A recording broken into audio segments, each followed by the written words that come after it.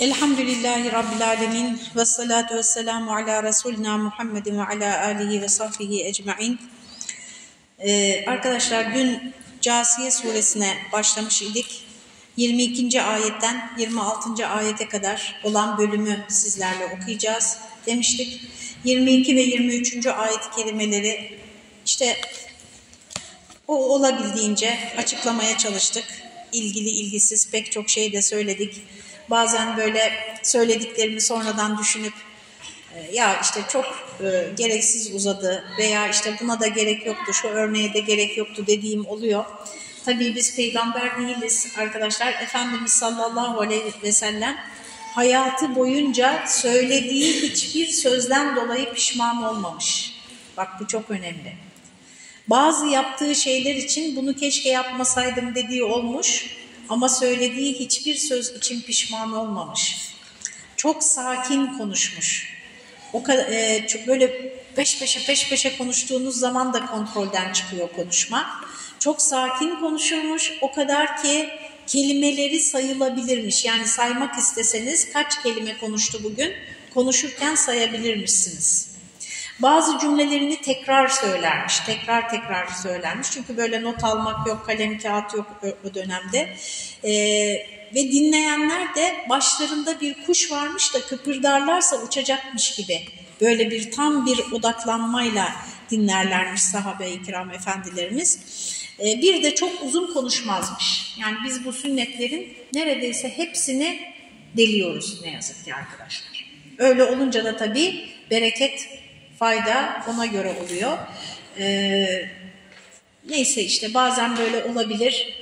Ee, bazı örnekler sert gelebilir, bazı ifadeler sert gelebilir kardeşlerimize, dinleyen kardeşlerimize. Onlar onu o anın heyecanına versinler. Ee, efendim e, inşallah Cenab-ı Hak yanlış söyletmesin. Dün de söylediğim gibi.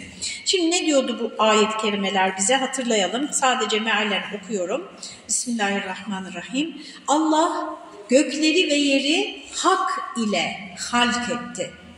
Hem de her nefsi hiç hakları yenmeksizin kazandıklarıyla cezalandırmak için. Ya şimdi baksana o kimseye ki ilah, e, ilahını hevası ittihaz edilmiş. O heva konusunu konuştuk dün. Bu ayet çok önemlidir. Yani insanın kendisini kendi tanrısı edindiğini gösteriyor. Hangi insanın her aklına eseni yapan, kendi hislerini, kendi aklını doğru bulan, başka bir rehbere ihtiyaç duymayanlar. Mesela bugün okuduğumuz yerde bir ayet geçti En'am suresinde. وَمَا قَدَرُ اللّٰهَ حَقَّ قَدْرِهِ اِذْ قَالُوا مَا اَنْزَلَ اللّٰهُ عَلَى بَشَرٍ مِنْ şey. Allah hiçbir insana bir şey indirmemiştir. Yani Allah'ı kabul ediyor ama vahyi kabul etmiyor. Diyenler وَمَا قَدَرُ اللّٰهَ حَقَّ قَدْرِ Allah'ı hakkıyla anlayamamışlardır. Allah'ı takdir edemediler. Allah'ı anlay sen kimden bahsediyorsun? Kimden bahsediyorsun? Vasıfları ne? Nasıl bir yaratıcıdan sen bahsediyorsun? Yani bu insan arkadaşlar biz tabii oluyoruz bu. Bizim dışımızdakiler değil. İnsan deyince hep böyle başkaları geliyor aklımıza. Öyle değil arkadaşlar. Kendimizden bahsediyor. Bizden bahsediyor Cenab-ı Hak. İnsan arkadaşlar böyle kendi aklını, fikrini, kendi işte hislerini, duygularını, dürtülerini, hevasını rehber edinirse kendine sadece, sadece onları öyle bir yere doğru gidiyor ki haşa Allah'ın bile neyi yapacağını, neyi yapmayacağını kendisi karar veriyor. Yani Allah öyle yapmaz, Allah affeder, Allah etmez. İşte böyle şeyler söylüyor mesela Allah Teala hakkında. Ve bunu e, sadece böyle din dışı konuşanlar, işte insanları dinden, imandan, kitaptan, peygamberden uzaklaştırmak isteyenler yapmıyor her zaman. Bazen dindarlar da yapıyor. Nasıl yapıyor? Kur'an ve sünnette olmayan şeyi yani Allah'ın ve peygamberinin söylemediği şeyi onlar söylemiş gibi anlatarak. Hani biliyorsunuz hikayeyi değil mi? Bu gerçek bir hikaye arkadaşlar. Uzun, biraz uzun kısalt, kısaltayım. İşte bir e, teyzemiz, yaşlı bir teyzemiz bu kadınların kendi aralarında eğlenmelerini pek doğru bulmamış. Bir hoca efendiye soralım demişler. Onun da itimat ettiği bir hoca efendiye. Hoca efendi de demiş ki teyzeden biraz tırsmış yani nasıl sorduysa artık. Ama demiş peygamberimiz de izin verdi yani kadınlar kendi aralarında eğlenebilir diye. Teyze demiş ki o da öyle demeyecekti biraz tekva olacaktı demiş. Yani peygamberin sallallahu aleyhi ve sellemin e, takvasını yetersiz bulan biraz takva olsun yani böyle her şeye cevap e, şey cevaz vermesin diyen bir zihniyet de aynı hatayı yapıyor bakın. Tabii burada biz o teyzeyi anlıyoruz ne demek istediğini. Yoksa çok hani tehlikeli bir söz bu. İnsanın inancına zarar verebilecek bir söz. Demek istediğim arkadaşlar Allah adına onun neyi bilir, neyi bilmez, neyi yapar, neyi yapmaz, neye gücü yeter, neye gücü yetmez, yok canım o kadar da olmaz diyemeyiz. Bu yüzden mesela mucizeleri de inkar ediyorlar. Şimdi o detaylara da girmeyeyim. Yani yok bu kadarı da olmaz, bu kadarı da olamaz demek Allah'ı hakkıyla tanımamaktan kaynaklanıyor. İşte o insan öyle bir noktaya doğru gidiyor ki arkadaşlar onun nefsi, onun hevası, arzuları, dürtüleri her şeyin doğrusunu ona gösteriyor. Onun ilahı oluyor artık. Bakara suresinde hem lafzan okuduk geçti hem tefsirde ta başlarda kaldı bir ayet-i kerime var arkadaşlar. Ee, o ayet-i kerimenin tefsirinde işte e, müşrikler kendi ilahlarını Allah gibi severler müminler ise en çok Allah'ı severler diye bir bölüm var. Orayı anlatırken Elmalı Hamdi Yazır formül gibi bir cümle söylüyor. Diyor ki e, mabudunuz en ziyade mahbubunuzdur diyor. Yani en çok neyi seviyorsunuz? İşte sizin mabudunuz odur diyor. Mesela şimdi bakınca sizin yüzünüze aklıma geldi. İnsanın bazen başka kardeşlerimiz de var böyle genç yaşta evlatlarını, kardeşlerini, yakınlarını kaybedenler. Bir düşünün arkadaşlar, şöyle bir hayal edin. Allah'a inanmasaydınız, yani onu Allah aldı, Allah vermişti, Allah aldı demeseniz baş edilir mi bu acıyla ya? Bununla nasıl yaşarsın yani bu acıyla? Onun için acılar karşısında da mesela sevinç karşısında azmamak için yani bir şey başardın bu başarı, başarı da bizi çok yoldan çıkarıyor arkadaşlar bazen. Bir şey başardın onu kendinden görüyor. Başaramayanı o yüzden işte tembel, işte beceriksiz, o yüzden başaramadı diye düşünüyor. Halbuki arkadaşlar evet başarının birinci şartı çalışmaktır ama sadece çalışmakla ilgili değildir takdir edilmesi gerekir. O sonucun sizin için takdir edilmesi gerekir. Öyle aksiliklerle karşılaşırsın ki çok başarılı bir sporcu öyle tanıdığım bir genç vardı. Gelecek vaat ediyor yani. Küçük bir sakatlık ihmal ettiler. Bitti. Bütün spor hayatı bitti. Şimdi bu çalışmak o kadar çalıştı ki gece gündüz antrenman yaptı yani. Ama e, daha profesyonel olamadan yolun yarısında kaldı. Demek istediğim arkadaşlar işte bazıları diyor ki ben şu kadar çalıştım tamam da o çalışmanın e, isabetli olmasını sağlayacak o yatırımların, o attığın adımların e, yerli yerinde olmasını sağlayacak aklı, zekayı, görgüyü, tecrübeyi kim verdi sana? Yani o aklın olmasaydı çalış bakalım. Çalış bakalım olacak mıydı? Dolayısıyla arkadaşlar insan kendini böyle bir şey sanmaya başladığında dün de uzun uzun anlattım. Büyük tehlikeli bir yola giriyor. Çok tehlikeli bir yola giriyor. İşte orayı onun en son noktasını söylüyor bu ayet. O girilen tehlikeli yolun yani insanın kendisini önemsemesi ve çok fazla önemsemesi ve çok abartması vara vara nereye varıyor? Kendini Tanrı gibi görmesine varıyor.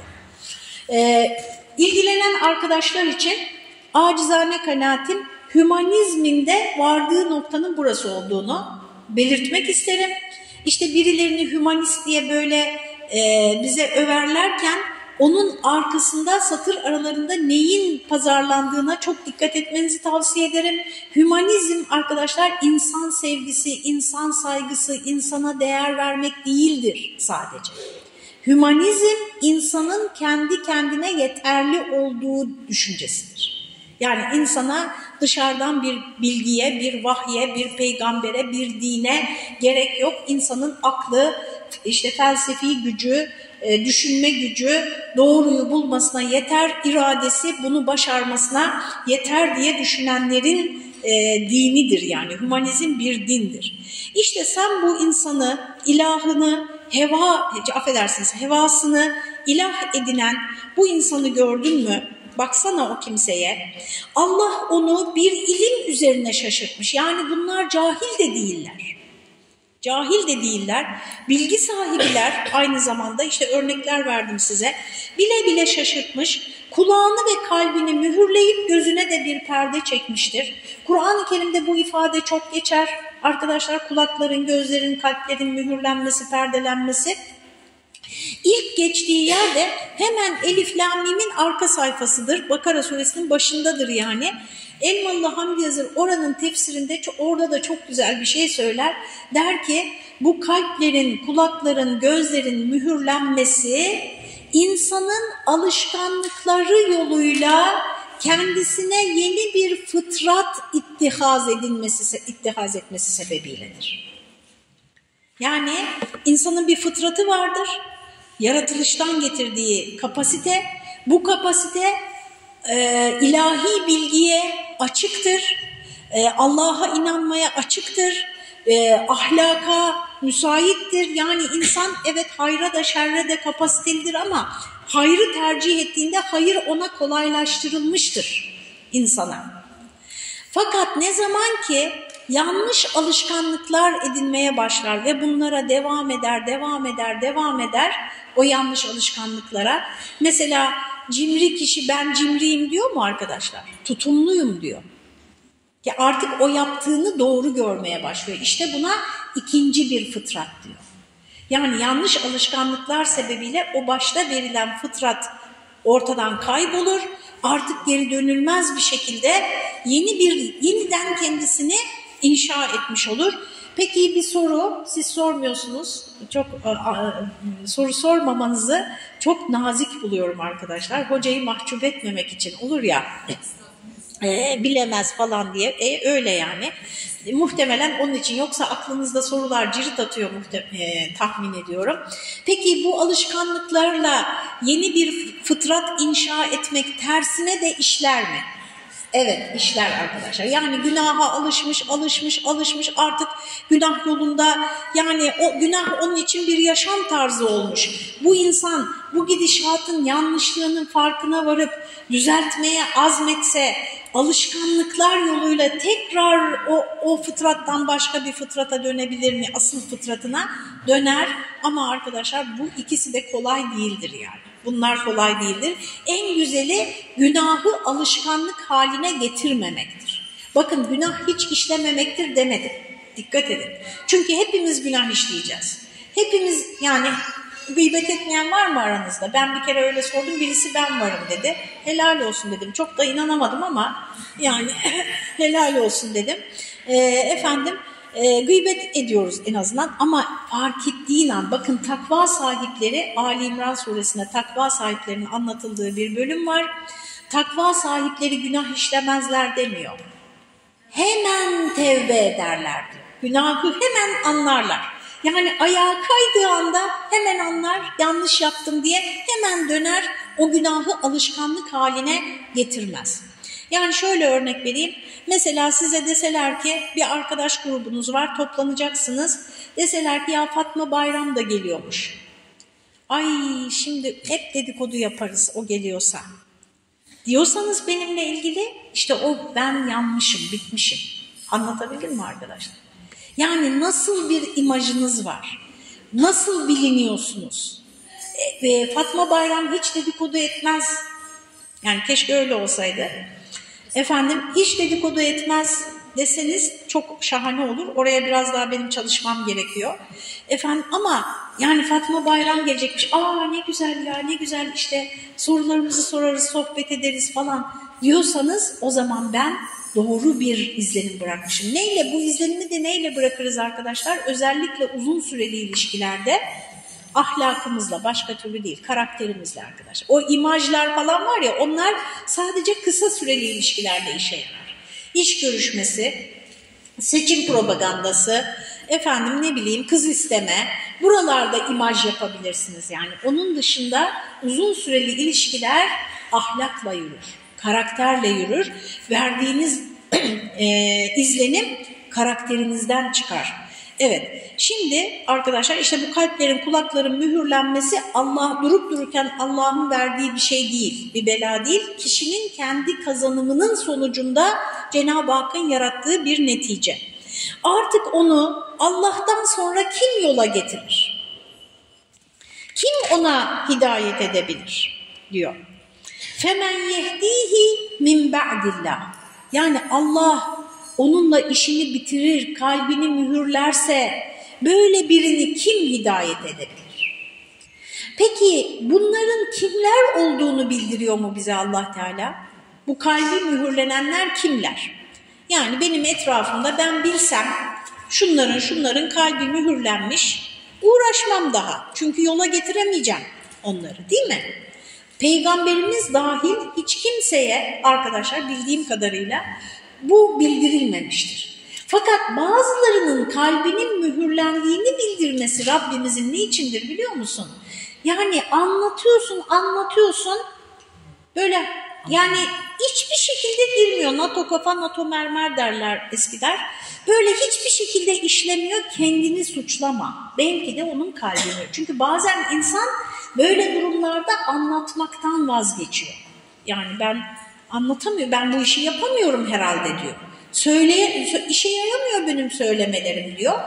Vazgeçmeyeceksin, kendinden ümit kesmeyeceksin çünkü belki onun kalbi mühürlü bilmiyorsun ki. Sıradakine geçeceksin. Kapalı bir kapının önünde de bekleyip durmayacaksın arkadaşlar. Shakespeare'in öyle bir şiiri var. Shakespeare'in mi bilmiyorum dolaşıyor böyle sosyal medyada. Çok güzel bir şiir. Şiir bulmanızı tavsiye ederim. Kap sana kapalı olan kapının önünde acizler bekler diyor. Kapalı kapının önünde de bekler. Çünkü o hayatını boşa harcaman demek. Dino Buzzati'nin Tatar Çölü romanındaki adam gibi. Romanın kahramanı gibi. Ramazandan sonra okursunuz. Ramazanda roman mı okunur? Siyer okuyun. E, şemail okuyun. Ramazanda ben ne film izleyebiliyorum arkadaşlar ne e, böyle romanları, edebiyat vesaire okuyabiliyorum. Bilmiyorum sizde öyle oluyor mu? Sanki başka bir şeye geçiyorum. Bir odadan çıktım başka bir odaya girmişim gibi. E, bu e, romanda da anlatılan kişi gibi böyle kapalı bir kapının önünde beklersen bir bakarsın ki hayat bitmiş. Onun için Peygamberimiz amcamı ben ikna edemedim, insanları nasıl ikna edeceğim deseydi değil mi? Orada daha Mekke'deyken enerjisi tükenirdi. Şimdi arkadaşlar işte e, siz düşünmez misiniz e, bunlara kim hidayet edecek, hidayet edecek dedi 22 ve 23. ayetler. Geldik 24. ayete. Dediler ki ve galu dediler ki kim bu diyenler ilme rağmen yani ortada bir gerçek var, bir kesin bilgi var. Buna rağmen kendi hevasını ilah edinenler. Şimdi mesela dün verdiğimiz örnek üzerinden devam edelim. Arkadaşlar gençlerimizin kafası çok karışık bu konuda. Ee, karıştırdılar yani. Biz de e, biraz yetersiz kaldık doğrusunu isterseniz. Her konuda olduğu gibi tartışma yapılıyor, bitiyor, etkileyeceklerini etkiliyorlar. Biz ondan sonra savunmaya geçiyoruz yani. Ondan sonra savunmaya geçiyoruz. Bu işte yani kendisini öyle hissediyorsa, öyle mutlu hissediyorsa öyle olsun, öyle yaşasın diyor. Bakın kendisini öyle mutlu hissediyorsa bırakalım öyle yaşasın. Doğru olan kişinin kendisini nasıl hissediyorsa öyle yaşaması. Bu sözler yabancı geliyor mu size? Gelmiyor. Arkadaşlar bunlar işte ilahını heva e, şey hevasını ilah edinmektir. Ya ne demek? Ben belki benim hissim şeytani. Belki benim hislerim dumura uğradı, bozuldu, aşırı sapkın hislerim var. Ne olacak o zaman? Kim bir dur diyecek, nerede dur diyecek? Nerede dur diyecek? Alan razı, veren razıysa efendim yamyamlık bile var dünyada şu anda. Yani Almanya'da iki yamyam, ikisi de mühendis arkadaşlar. Buluşmuşlar, birbirlerini yerken öldürdüler. Öldüler yani. Şey uyuşturucu yapıyorlarmış acı hissetmesin diye. Acı hissetmediği için de haddi aştığını anlamadı. Bakın buraya kadar gidebilir yani bu insanın heva. Çünkü heva öyle bir şey ki arkadaşlar, heva doymaz. Yani ben şu zinayı yapayım duracağım. Hayır o zinayı yapar. Allah şükür böyle bir şey bilmiyoruz da yani anlatılanlardan söylüyoruz. Bir, mesela aldatanlar, eşlerini aldatan bir duruyorlar mı bir yerde arkadaşlar? Çünkü ona alışır, şeyi geçer, e, verdiği zevk geçer, heves geçer, başka birinde yeni bir heyecan peşine düşer. Sapkınlıklar da böyle. Sapkınlıkların da sonu yok arkadaşlar. Hayvanlarla ilişki, pedofili yani caminin mihrabında anamayacağımız daha başka pek çok şey. İşte bunların temelinde ne var? Kendini nasıl mutlu hissediyorsa bırakalım öyle yaşasın. Bu tamamen arkadaşlar hevayı ilah edinmenin e, kılıfına uydurulmuş e, sözüdür. Bunlar, bu azgınlar dediler ki inhiye illa hayatünet dünya. Yani bu azgınlıklarını makul, meşru ve mazur görebilmeleri için çünkü insan kendisini makul görme ihtiyacındadır. Yani e, mafya bile, seri katilin bile bir mantığı vardır yani kendine açıklar yaptığı. Açıklayamazsa mesela bazı savaş filmlerinde falan görüyoruz mesela e, köylüleri öldürüyor, çocukları öldürüyor savaşta geldikten sonra kafayı yiyor. Çünkü açıklayamıyor kendine onu niye yaptık. Niye biz o çocukları öldürdük? Niye biz o masum köylüleri öldürdük? Onu açıklayamıyor. Depresyon, bunalım, uyuşturucu işte dibe gidiyor yani. Ee, kendine açıklama ihtiyacım var. Şimdi bunlar, bu sapkınlar arkadaşlar yaptıklarını meşru görebilmek için, bak altını çiziyorum buranın arkadaşlar, ahireti inkar etmek zorundalar. Ahirete inanan biri o yaptığını meşru göremez. Şimdi şunu da söyleyeyim bu kadar örnek vermişken, biz günahla uğraşırız arkadaşlar, günahkarlarla değil. Yani bir insanın şahsi bizim için ancak merhamet konusu olabilir. Yani ona acırız. Bir başkasına zarar vermiyorsa, günahkar biri. Ama zulmediyorsa tabii zalimin karşısında dururuz. Günahkar birine, sapmış birine, mesela şöyle olamaz mı diyeceksiniz hocam, bir sürü günahları işliyor, işliyor ama ahirete de inanıyor. Çok üzgün, çok da üzgün, üzülüyor yaptığından dolayı tabii öyleleri de var arkadaşlar. Öyleleri de var. Onlara tevbe nasip olsun. Allah irade gücü versin. Efendim ayaklarını sabit kılsın. Onun da nasıl kurtulacağını Peygamber Efendimiz söylüyor. Arkadaşlar. Yüz kişiyi öldüren adamın hikayesini hatırlıyor musunuz Buhari ve Müslüm'de geçen? Eğer alışkanlık haline gelmiş, sende kökleşmiş bir e, kötü yaşantıdan kurtulmak istiyorsan çevreni değiştireceksin. O hadis-i şerife bakın. 100 kişiyi öldüren adamın hikayesi diye yazın Google'a o çıkar. Buhari ve Müslim'de. Çevreni değiştireceksin. Seni hayra teşvik eden, iyiliğe teşvik eden insanlarla görüşmeye başlayacaksın. Muhitini değiştireceksin. Şimdi bunlar diyorlar ki inhiye illa hayatünet dünya. Dünya hayatımızdan başka bir hayat yoktur. Hayat denilen buradan ibarettir. Şimdi ben size zaman zaman söylüyordum arkadaşlar. E, ahiret yok farz edin bir anlığına ama isterseniz yapmayın tehlikeli bir hayal. Yani bir anlığına düşünün ki ahiret yokmuş meğer. Yok yani. Hesap sorulmayacak. Cennet yok, cehennem yok. Nasıl yaşardınız arkadaşlar? Çok zor çok, arkadaşlar şimdi dindar ağzıyla konuşuyorsunuz. Of arkadaşlar düşünebiliyor musunuz? Ne iyilik. Yani çok güçlü kanunlar olması lazım öyle bir toplumu yönetmek için. Çok güçlü kanunlar, hukuk, ceza sistemi çok iyi çalışması lazım.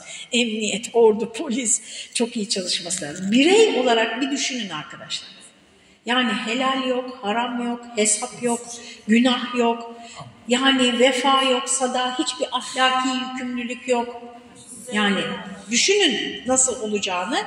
İşte o sapkınlık ahirete inanmamayı şart koşuyor arkadaşlar.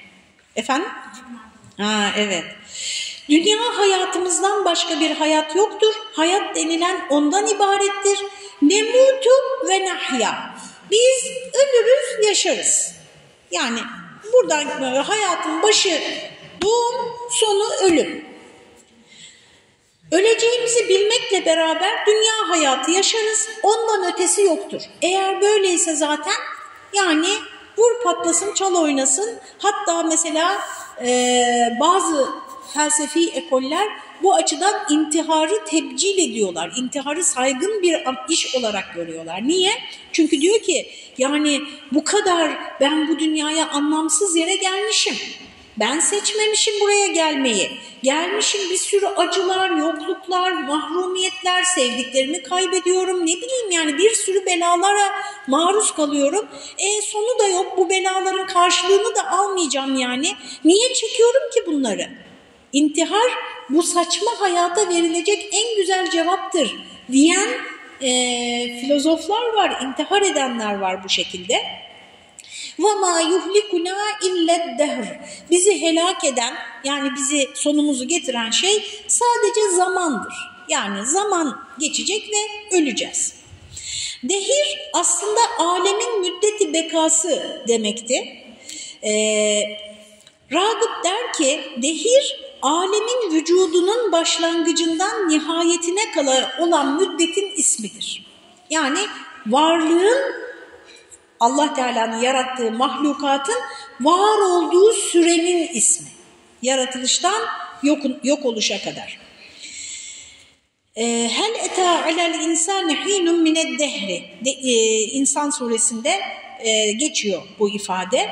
Sonra çok bir müddete dahi ıtlak edilir. Yani şimdi başlangıçtan sona kadar olan bütün o zamana biz zaman dediğimizde zaten onu kastediyoruz. E, zamana isim olarak verilmişti ama yine bu kelime dehir kelimesi çok uzun zaman içinde kullanılır az bir müddete de itlak edilmek itibariyle bundan farklıdır. Yani kısa bir, mesela ona vakit deriz, an deriz ama zaman dediğimizde çok zaman geçti. Yani uzun bir zamanı kastederiz. Filanın dehri, yani e, çağ diyelim biz buna. Mesela Fatih çağı, Fatih devri demek onun müddeti hayatı demektir. Yani o hayatta olduğu sürece demek olur. Bir de dehir mastar olur.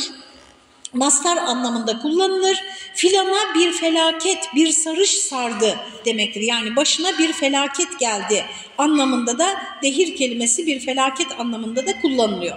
Şu halde dehir bu ayette geçen dehir ve ma yuhlikuna ille dehru diyorlar ya bizi sadece zaman helak eder, dehir helak eder. Ya mastardır ya isimdir. Mastar olduğuna göre yani mastar olduğunu kabul edersek kahru galebe ve istila manasına gelir. İsim olduğu vakitte asıl manası zamanı kül yani bütün alemin baştan nihayete kadar cereyanı müddetidir. Ki bu bilhassa lam ile yani başında eddehr, başında elif lam gelmesi gerekir. Bundan mada bir de uzun bir zaman müddeti kesire yani çok müddet manasına gelir ki lazımsız, lamsız, başında elif lam olmadan nekre olarak dehren denildiği zaman bu mana daha öne çıkar, daha mütebadirdir. İmam-ı Azam Ebu Hanife Hazretleri nekre olan bu devrin manasında yani ne kadar bir zamana ıtlak edildiğinde tevakkuf etmiştir. Yani ne kadar bir zaman kastediliyor dehir kelimesi geçtiğinde orada e, bu konu tart bu konuyu tartışmışlar. Bir sonuca bağlamamışlar. Zaman kelimesi ise dehrin az veya çok bütün eczasında da kullanıldığı cihetle eam ve külli olmuş olur. Yani bizim Türkçemizdeki zaman kelimesi işte kısa bir zamanı da kastediyor, uzun bir zamanı da kastediyor. Zaman, tırnak içerisinde zaman yani yaratılıştan sonuna kadar devam eden zamanı da kastettiği için külli bir kavramdır. Yani hepsini kuşatır. Zaman mazi, hal ve istikbal kısımlarına ayrılır. Dehir ise alemin baştan ahire kadar bir imtidadının ifadesi olduğunda zaman dehrin makamatından, o dehrin yani belli dönemlerinden e, olarak değerlendirilir, mülahaza olunur. Burada ed-dehir üç manadan her birine hamlolunabilir. Yani bizi yok eden şey nedir? Zamandır. Hangi zaman? Yani aslında her an ben ölüyorum. Öyle değil mi arkadaşlar? Her an ölüyoruz aslında. O küçük saniyeler de beni öldürüyor baktığımız zaman. Zaman denilen o yaratılmış işte geçen süre beni öldürüyor. Benim ömrü müddetim veyahut da işte yaratılışta bu kainatın işleyişine konulmuş olan zaman. Her biri burada kullanılabilir. Efendim e, en ziyade murur zaman, tuli zaman diye tefsir edilmiştir. Yani en çok zamanın geçişiyle biz ölürüz. Bizi Allah falan öldürmüyor. Bizi e, yaratan, yok eden yok. Sadece bir zaman var, zaman geç, geçiyor ve biz de ölüyoruz diyorlar. E, mevzu bahs olan bu ihlak yani helak olma alemin nihayeti olan ihlak külli değil. Çünkü burada diyor alemin sona ermesi, kıyametin kopmasından bahsedilmiyor. insanın ömründen bahsediliyor.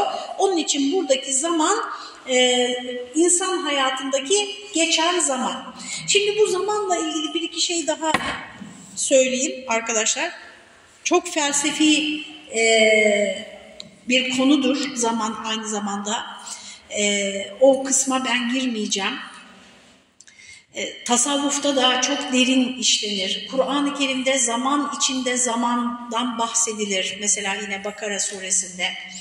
E, aynı anda üç farklı zamanın aynı mekanda işleyişinden bahsedilir. Üzeyir Aleyhisselam'ın e, olduğu söylenen o kıssada. E, oralara girmeyeceğim. Yalnız şu kadarını söyleyeceğim. Efendimiz sallallahu aleyhi ve sellem zamana sövmeyin buyurmuştur arkadaşlar. Zamanı kötülemeyin buyurmuştur. İşte ahir zaman, zaman bozuldu, devir bozuldu. Zaman aynı zamandır. Bozulan toplumdur, insandır, ahlaktır, e, zaman Allah'ın mahlukudur ve bizi e, şey yapmaz, bizi etkilemez, bozmaz. Ama insanoğlu ya, zaman değişti, zaman kötüleşti mesela gibi böyle hep zamana havale ediyoruz. Niye biliyor musunuz? Bunu niye yapıyoruz? Benim acizane kanaatim arkadaşlar. Ee, yani biraz tabii haddi aşan bir yorum olacak ama e, bir genelleme yani. E, çünkü biz arkadaşlar herhangi bir konuda rahatsız olduğumuz bir gözlemimiz varsa o rahatsızlığı kendimizin dışında bir sebep bulmak istiyoruz. Kendimizin dışında. Mesela eşimizle geçinemiyor muyuz? Birisi büyü yapmıştır. Bizimle bir ilgisi yok. Yani biz yanlış yapmıyoruz. Çocuğumuz işte okulda takılmaya mı başladı? Nazar değmiştir. Bu arada büyüye ve nazara ben inanıyorum ama her şeyi bunlarla açıklamak. Anlatabiliyor muyum? Yani işte su içsem yarıyor. Mesela çok kilo alanlar hep böyle derler ya su içsem yarıyor derler. Hani ben oturduğum yerde yaşıyorum, hareket etmiyorum, çok yiyorum. Ya işte hamurları gömüyorum demez de su içsem yarıyor der. E, bu insanın savunma mekanizmalarıdır. İşte bu toplumsal sorumlulukları da arkadaşlar zamana bırakmak, çevreye mesela bu çevreye e, havale etmeye de çok e, şahit oluyorum. Hep çevre kötü, çevre bozuk.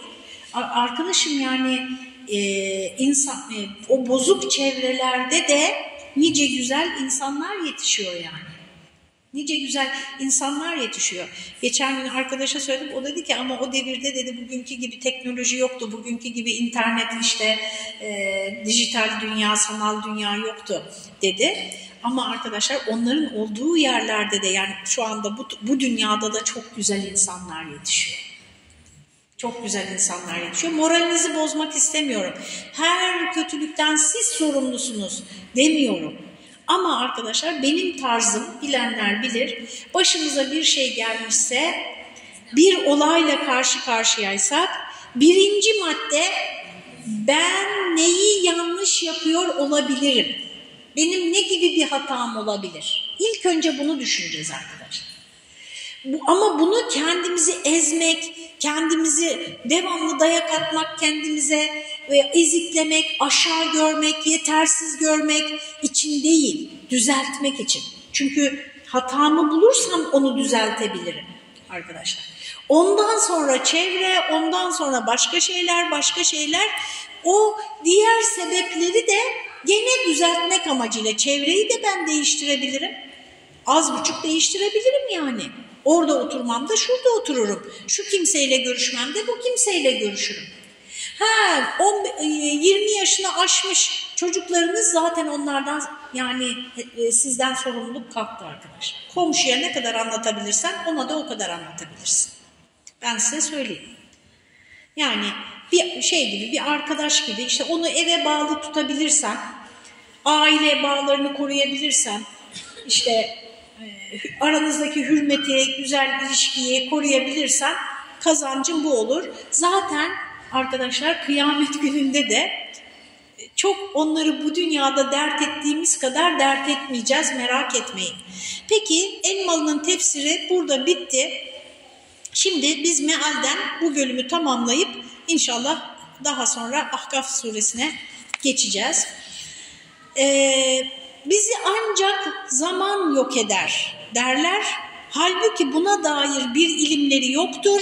Onlar sadece zanla hareket ediyorlar. وَمَا لَهُمْ بِذَٰلِكَ مِنْ ilm. Yani nasıl yok oluyorsun? E, seni yok eden şey zaman mı? Ee, buna dair hiçbir bilgileri yoktur. Sadece cezanla hareket ediyorlar. Şunu unutmayın arkadaşlar, ilmin zıttı cehalet değildir. İlmin zıttı zandır. Burada tam ikisi iki zıt bir arada geldi bakın. Ve ma lehum bidalike min ilm inhum illa yazunnun. Onların bir bilgisi yok, zanla konuşuyorlar. Yani ne zaman zanla konuşursanız, zan ne demek zanla konuşmak onu da söyleyeyim. Mesela ben size şimdi bir şey söyledim, herhangi bir şey, yarım saattir konuşuyorum. Siz bana deseniz ki hocam şunu nereden biliyorsunuz, yani nereden söylüyorsunuz, kaynağı ne deseniz 24 saat içinde gösterebilmem lazım. Bak 24 saat dedim, bayağı bir uzun zaman yani. 24 saat içinde o söylediğim şey mesela 100 kişiyi öldüren adamın hikayesinde çevrenin etkisine onu örnek verdiniz. Deliliniz ne? Dediğinde onu gösterebilmeliyim. Onu nereden bulduğumu. Kaynağını gösteremediğiniz bilgi zandır arkadaşlar. Zandır. Zan konuşuyorsunuz. Peki cehalet nedir? Cehaletin bilgiyle ilgisi yoktur arkadaşlar. Cehalet nerede nasıl hareket edeceğini bilemeyen, fevri davranan, görgüsüz, akılsız kişi demektir. O yüzden mesela gençler böyle ergenlik çağındaki çocuklar yanlışlar yaptıkları zaman ne deriz? Ya hoş gör cahil deriz. Cahil bilgisiz değil peki pek çoğumuzdan daha bilgili belki şu anda 16-17 yaşındaki bir çocuk. Ne demek? Nerede nasıl davranacağını tam bilemiyor. Tam oturmamış yani ahlakı. Yani cehalet arkadaşlar hilmin zıttıdır. Hilm. Hilm sıfatının. Hilm nedir? Her davranışı yerli yerinde. Kendine hakim, ağzından çıkanı biliyor, ne yapacağını biliyor, e, e, şey değil, reaksiyoner değil. Evet, onlar böyle zanla konuşuyorlar. Ve izâ tutla aleyhim ayatuna beyinatin 25. ayet-i kerimede onlara ayetlerimizi açıkça okuduğumuz zaman makane hüccetehum hiçbir karşısına o ayetlerin karşısına hiçbir delille çıkamıyorlar. Şimdi bakın bu kitap Allah'ın kitabı diyor ki kıyamet kopacak, bu dünya helak olacak, sonra hepiniz dirileceksiniz. O diyor ki hayır yok öyle şey. Tamam ben bu kitaba dayanarak söylüyorum. Sen neye dayanarak olmadığını söylüyorsun. Hiçbir delilleri yoktur.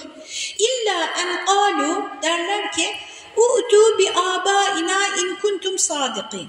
Derler ki babalarımızı getirin madem doğru söylüyorsanız. Bu nedir biliyor musunuz? Tam bir demagojidir. Madem Allah öldükten sonra diriltecekmiş, niye şimdiye kadar kimse dirilmedi? Canım Allah her öleni o an diriltecek demiyor ki zaten. Anlatabiliyor muyum? Bakın demagoji, safsata konusunu da çok iyi bilmeniz lazım arkadaşlar. Yani ben öyle bir şey mi dedim ki sen böyle bir cevap veriyorsun demeniz lazım. Kendiniz de safsata yapmamanız lazım. Ee, size de safsata yapıldığında çok e, iyi fark etmeniz lazım. Bu tam bir demagoji yani. Ulillahu yuhyikum de ki Allah size hayat veriyor. Fümme yumitukum sonra sizi öldürüyor. Fümme yecma'ukum ila yevmil kıyame sonra sizi kıyamet gününde bir araya getiriyor. La raybe fîk bunda hiçbir şüphe yok. Ve lakinne ekferen nâsi la ya'lemun fakat insanların çoğu bunu bilmiyorlar diyor. Burada bırakıyoruz. Arkadaşlar inşallah Allah izin fırsat verirse yarın kaldığımız yerden devam ederiz. Allah'a emanet olun.